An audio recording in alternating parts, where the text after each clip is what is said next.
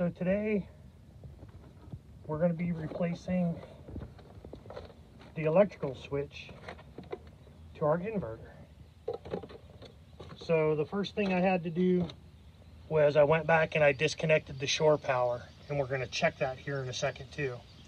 Um, so the next thing we're going to do is disconnect the 12 volt power supply. I have these handy little switches here and I'll verify those as well. Um,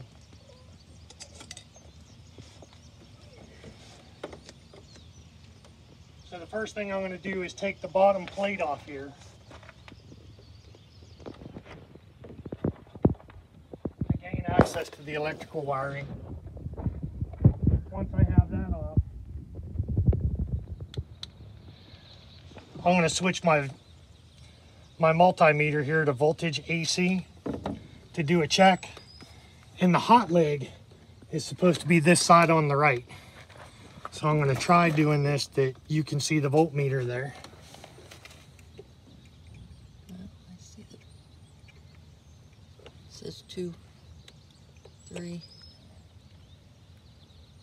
What's it read there, Joel? I think it's point. Is it point two? There's Okay, so that's that means that I did get all the power off, and that's what we wanted to verify. So now I'm going to go ahead and remove the switch, and um, as we get through and start doing some of that, you know, we'll come back and do some other little video clips because it's pretty tight in there, and we just can't fit the camera and me trying to get the work done. So, anyways, we'll be back and do some more of the install.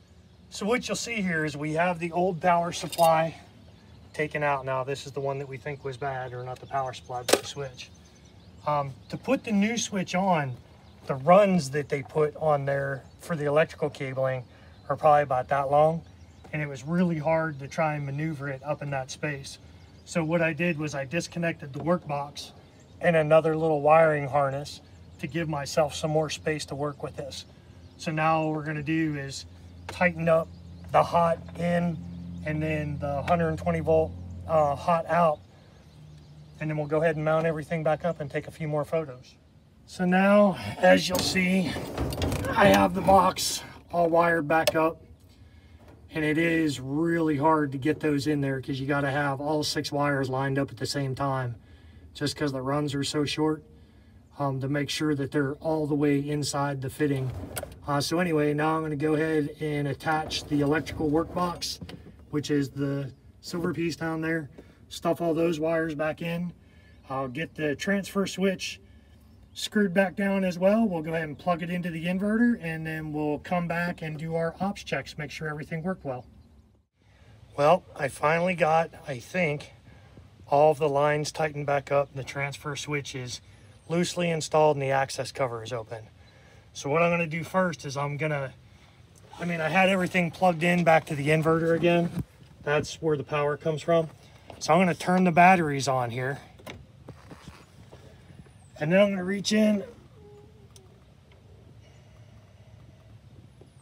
and turn my inverter on, which that's the beeping sound that you heard. So now, if I did this right, I should have on the AC output load side, I should be able to get 120 volts on the meter. So I'm gonna reach in and give it a shot and Julie can try and keep an eye on the meter here and tell me what I see once I get these in here. Anything? Nothing.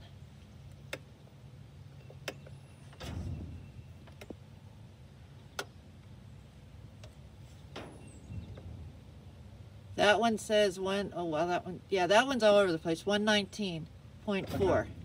So what had happened was, as I was doing whatever, I tripped the um, I tripped the ground or the um, okay, the GFI outlet on the bottom of the inverter, so I had to put that back in.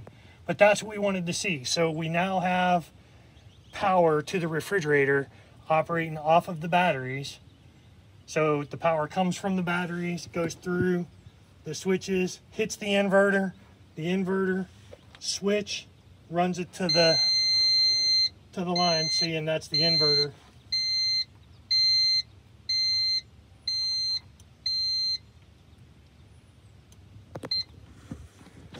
Which isn't a good sign because that may mean that our inverter is not working the way it is. It should be. So I'm going to run that again and see if I can't get the error code to come back up. So that's kind of not the answer we were hoping for. We were thinking that it was the Magnum switch just because the symptoms were the refrigerator went off just unexpectedly on 120 volt. When we flipped it over to 12 volt through the inverter, everything was running fine. Power came back on mysteriously. We didn't do anything. We were moving a slide in, the power went out again. So, of course, we tried to flip it over to the 12 volt source. That didn't work either. So, again, I'm getting